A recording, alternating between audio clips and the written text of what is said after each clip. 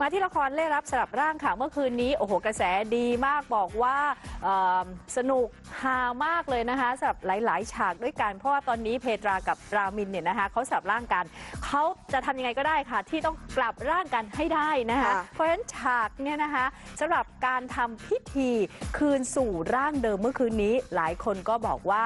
ฮามากเลยทีเดียวโดยเฉพาะกับบทสวดมนต์นะคะที่หมอนักสัตว์เนี่ยนะคะแล้วบทในพี่เกลิกเนี่ยนะคะบอกให้ท่องอะนะคะหลายคนบอกยิ่งอยู่ในหัวเลยนะคะอะท่องไปเรื่อยๆนะหรือว่านัดเดทอยู่ในชุดนอน ดูตัวเล็กบอบบางมากนะคะนี่คือใน ฉากนี้เขาต้องเศร้านะ ค่ะ แต่ว่าคนดูอะไม่เศร้าขขำ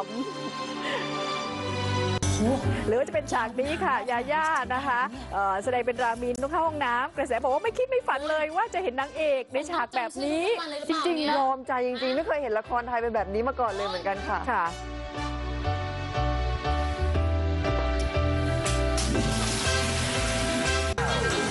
แล้วก็ฉากที่รามินในร่างของเพตรานะคะใส่ส้นสูง กระโปรงสั้นลิปสติกติดฟันก็เป็นอีกฉากหนึ่งที่แฟนละครพูดถึงว่าฮาวมาก นี่ดูฉากนี้ยังอยากจะไปแบบเอากระดาษทิชชู่เช็ดฟันให้ยาย่าเลยนะ น้องอาจจะเหนื่อยๆดูท่านั่งก็สิคะ ยังไงขอคำถามแค่สักคำถามเดียวได้ไหมครั